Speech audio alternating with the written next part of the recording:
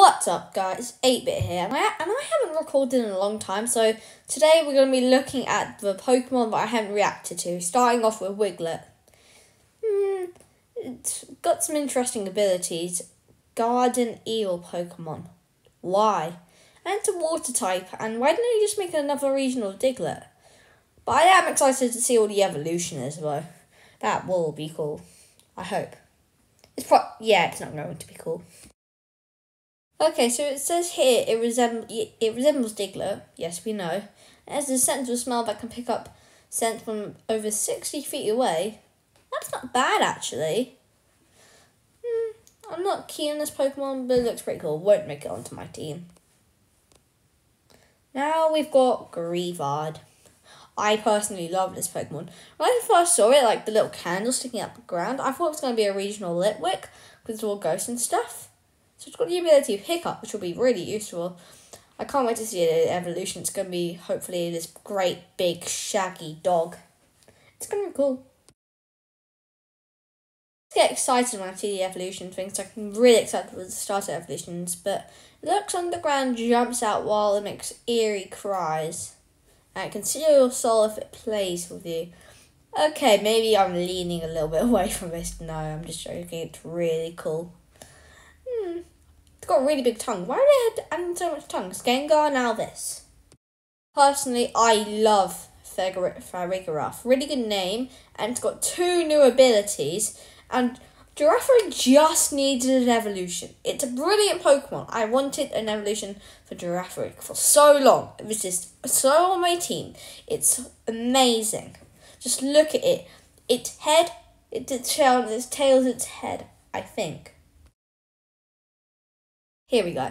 The head of its main body and the head of its tail is combined.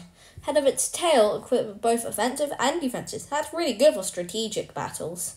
And it's a psychic type, so does that mean the head and the tail are combined combi- com- combined psychically? Yeah, does that make much sense? Yeah.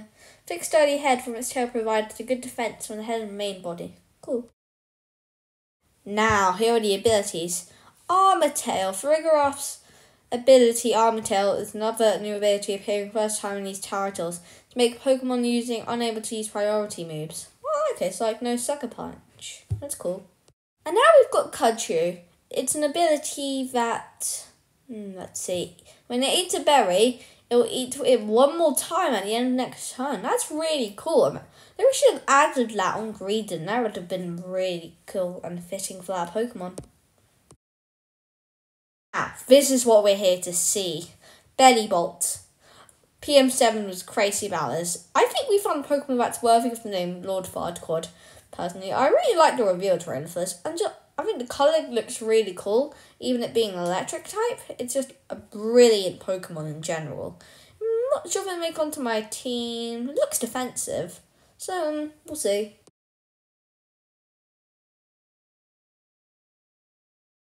Now, this is what you saw in the thumbnail Belly Button Dynamo. What is this? It can produce a giant amount of electricity from the of its belly button. It's really cool. Those sparks coming out of the circle, though, and it doesn't. Oh, yeah, it, that looks like Slowpoke. And what I mean by that is, it says it doesn't notice an opponent until it's attacked, a bit like Slowpoke. Slowpoke isn't a frog; it's like a hippo-based thing, I think.